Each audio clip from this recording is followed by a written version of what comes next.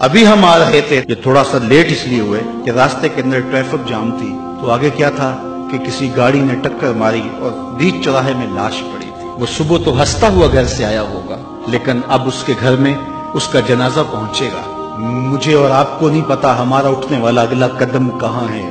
صاحب، یہ وقت آنے والا ہے جب دونوں انگوٹھے باندھ دیے جائیں گے، جب ناک میں روئی ٹھونس دی جائے گی، جب چٹے لباس میں کفن دیا جائے گا۔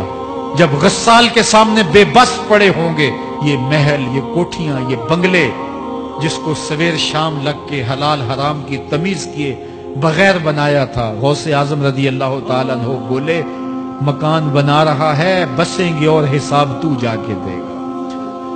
اور یہ تو ایک رات بھی تجھے اس گھر کے اندر نہیں رکھیں گے کہ چلو ایک رات مہمان رکھ لیں۔ کہتے نہیں نہیں، مہمانوں نے بھی جانا ہے، تو جلدی کرو، اس کو سپرد کراؤ۔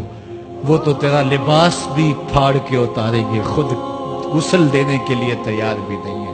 تجھ سے خوف آنے لگا ہے۔ جاندی واری ڈرونا بنے ہوتے ہاتھ نہ لاندے ڈر دے۔ جنہ لئی تو پاپ کمائے، اج کتھے نہیں تیرے کر دے۔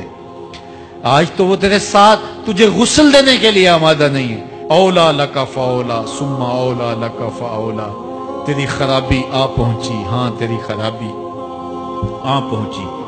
ایحسب الانسان و یترا کا سدا انسان دنیا میں یہ گمان کرتا ہے، اس کو سدا چھوڑ دیا جائے گا۔ آج تو مفتی شہر ہے، آج تو علامت الدہر ہے، آج تو قاضی القزات ہے، آج تو منسٹر ہے، آج تو وزیر اعظم ہے، آج تو پہلوان ہے، آج تو شہزادہ ہے، آج تو بادشاہ ہے، آج تو زوراور ہے۔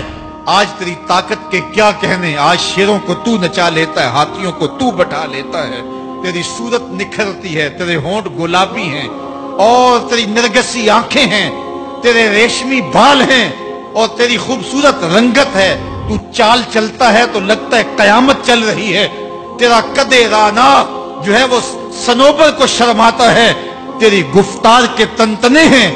جس نے اتنی خوبصورت شکل ماں کے رحم میں بنائی، کیا وہ ہڈیوں کو جوڑ کے دوبارہ انسان نہیں بنا سکتا؟ وہ دوبارہ انسان بنائے گا اور پھر تجھے اپنے حضور کھڑا کرے گا۔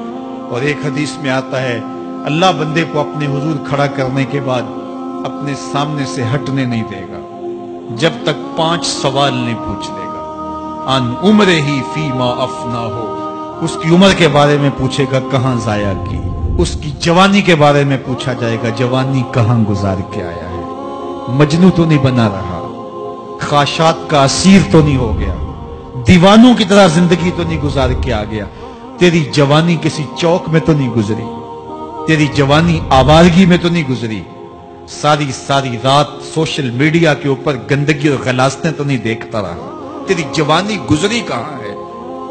اگر کوئی جواب نہ ہوا تو پھر کیا جواب دے گا؟ اور وہ کتنا خوش نصیب ہوگا جو کہے گا، مالک میری جوانی سجدوں میں گزری۔ میری جوانی قیام میں گزری، میری جوانی رکوع میں گزری۔ جوانوں، اپنی زندگی کو مالک کی دہلیز پہ لے آؤ۔ جوانی وہی ہے جو مالک کی چوکھٹ پہ گزرے۔ اپنے دل کا تعلق جوڑو، عشق کرنا ہے تو پھر آمنہ کے لال سے کرو۔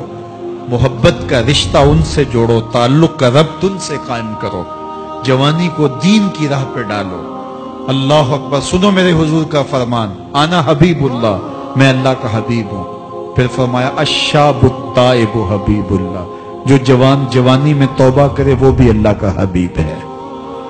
آؤ اللہ کے حبیب بن جاؤ۔ جب آپ اپنی ساری زندگی اللہ کے نام کر دیں گے، تو پھر وہ پوری کائنات تمہارے نام کر دے گا۔